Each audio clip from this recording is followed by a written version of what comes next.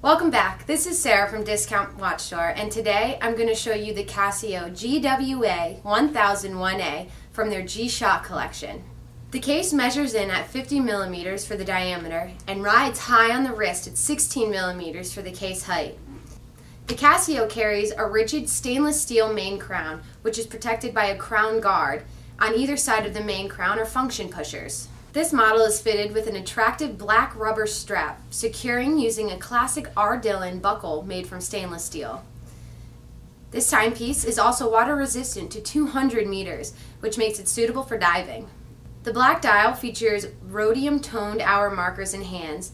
Both of these elements are coated with lume for visibility during low light conditions.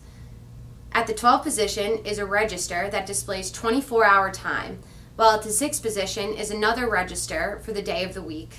At the three position is a modest date aperture. This timepiece features automatic timekeeping, which is only available in the US, UK, Germany, Japan, and China. This works using radio signals that keeps the time precise. The automatic timekeeping function works both manually and automatically with updates up to six times a day. This model also features a thermometer, world time, beeper alarm, chronograph with a fly back feature and a countdown timer.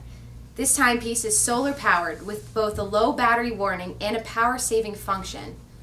So what are you waiting for? Get Casio GWA 1001A from Discount Watch Store, where you're guaranteed to save your money every day. And if you have any questions, help us just a quick phone call or email away. No automated